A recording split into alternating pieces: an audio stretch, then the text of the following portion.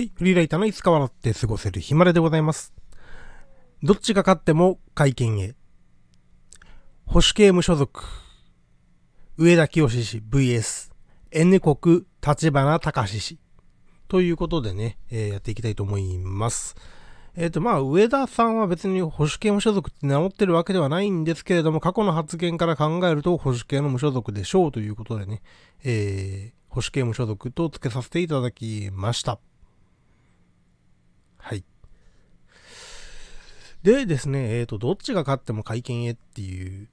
ことなんですけれども、立花さんの方は、えー、もともと直接民主主義というのを歌っていて、えー、重要なことは国民に問うと。ただし、NHK のスクランブル放送のためにバーターとして、えー、会見などを、えー出すのは構わないと思っていると。特に憲法改正は、えー直接民主主義である国民投票をもとに、えーやるのだから、その憲法改正の発議をするということに賛成するのは、えー直接民主主義として正しいことであると言っておりますので、えーまあ一応、あの、憲法改正の発議には賛成と。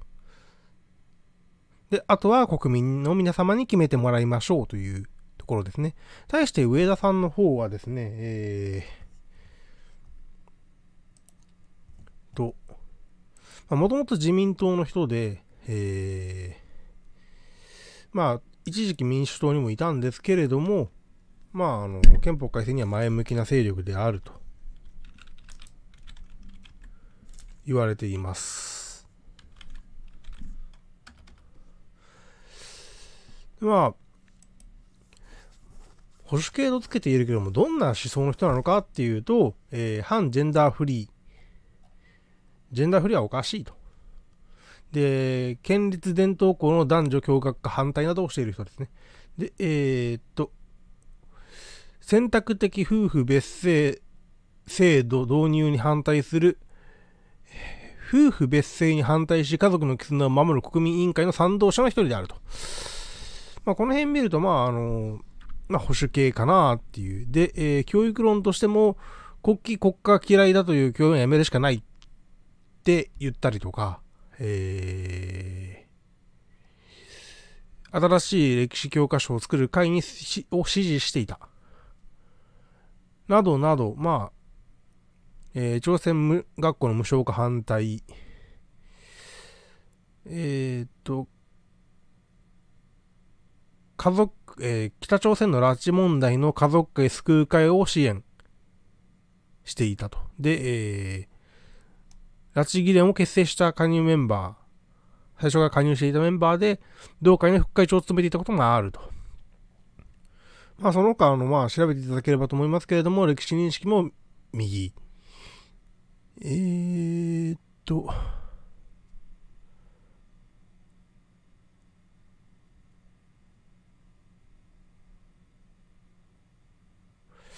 喫煙に関しては賛成でも反対でもないのかな。無理に条例化するよりも、各自納得して運動していく方がいいっていうふうに言ってますね。まあ、うん、まあそんな感じですかね。まあいろいろとちょっとま不祥事とかもあるんですけども、ちょっと紹介しきれないんで、興味がある方は調べていただければと思うんですが、まあどちらにせよ、まあ姿勢と、姿勢じゃない、えっと、今までのね、発言とかね、施策とか考えていくと、上田さんは、まあ保守でしょうと。保守系でしょうと。いうところですね。なので、まあ、どっちが勝ってもね、あの、憲法改正に一歩近づくというのが、今回の選挙かなと。まあ、中にはね、あの、立花隆に入れると、立花隆さんに入れると、えー憲法改正になるから上田さんに入れろって言っている人が結構というか、ちょろちょろいるんですけども、でも上田さんに入れても多分憲法改正の方に動きますよねっていう。なので、不思議なのが、えっ、と、友情支援だっけ友情支援ですね。立憲民主党が友情支援してるのがもうちょっと意味がわからないっていうところではあるんですけども、まあ、立憲民主党って憲法改正反対ですね。安倍会見反対かなうん。で、えー、っと、まあ、自民は擁立を、自民と、えー、社民共産が、えー、自主投票。で、社民共産は上田氏が憲法改正に前向きだから自主投票にしていると。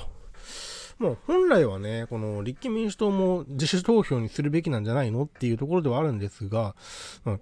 てかそもそもね、なんで自民も立憲も独自候補立ててないのっていうツッコミがすっごく入っている選挙ですよね。なんか、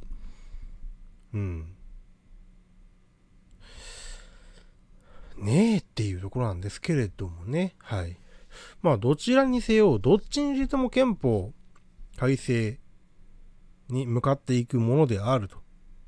で、まあ、あの、どっちの方がより憲法改正の度合いが強いかっていうと、おそらく上田さんだと思いますね、僕はね。あの、立花さんの方は、まあ、直接民主主義を歌っているので、うん。止めることは可能な、要はすっごい勢いで、その、投票を、投票した場合、その、システムを今組んでるらしいので、投票した場合にすごい勢いで反対だとどうしてもバーターに出しちゃ、出すのもダメだっていう風な意見が多ければ止まるんですね。止まるはずなんですね。対して清、清田さんじゃねえや。なんか上との下の名前が混じっちゃった。上田さんの方は、えっ、ー、と、まあ、おそらくそんなことはしないと思いますので、その、うん、投票、要はアンケート取るとかじゃなくても、70、1歳ですかね、この人。まあ、ネットでアンケート取るとかってなかなかできないと思いますんでね。このポスターの顔結構若い時の写真ちゃうかなとか思うんですけど、うん、今どうなんですかね。うん。まあもしかしたら顔が若いかもしれないけれどもね。というところですね。はい。ということでですね、まあこの辺で終わっていきたいと思うんですけれども、まあどっちが勝ってもね、あの憲法改正には近づくとまあ、社民党とかね、共産党とか立憲民主党の人ってどっちに入れるんだろうっていうところなんですけど、まあ、立花さんには少なくとも入れないとは思うんですけどね、その辺の支持者の人っていうのはね。ただ、上田さんに入れるのも 結構抵抗ある人多いんちゃうかなっていうふうに僕は思ってます。まあ、この人も完全に保守ですからねっていう。とこですよね。ということでね、どっちが勝っても憲法改正に近づくんじゃないのっていうことをね、えー、動画に撮らせていただきました。よろしければね、チャンネル登録していってください。フリーライターのいつか笑って過ごせるひまれでした。